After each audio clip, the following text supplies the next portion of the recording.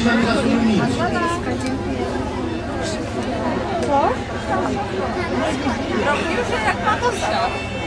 Drobna jak mamusia.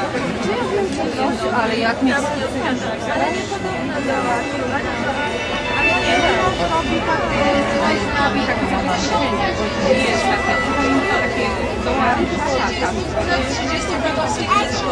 też, jest też, bardzo mocno w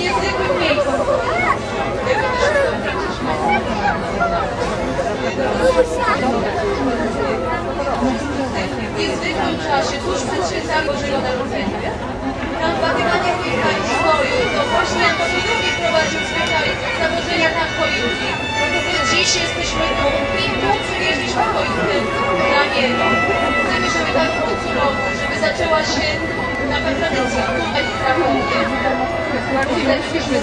dzieciom, tym dzieciom, które tacy, żeby poznać go osobiście, a nie wiedzą, że Jan Paweł II kochał dzieci, szukał i dał kolędę, zaśmiane gdzieś stające. Co? Ruszaj się cały czas, ruszaj się.